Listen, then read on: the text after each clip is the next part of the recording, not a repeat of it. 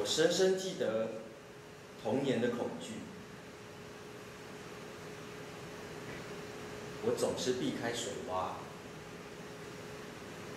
尤其是那些下雨后刚出现的。毕竟，其中一个可能没有底。虽然它长得和其他的一样。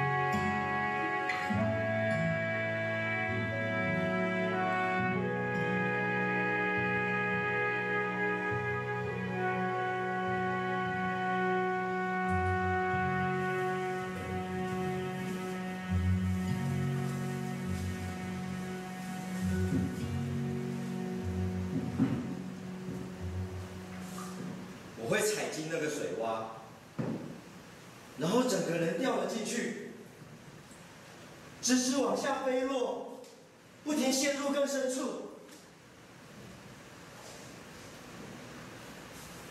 落入倒映在里面的云层，或许更远。之后，水洼会变干，在我头顶封闭。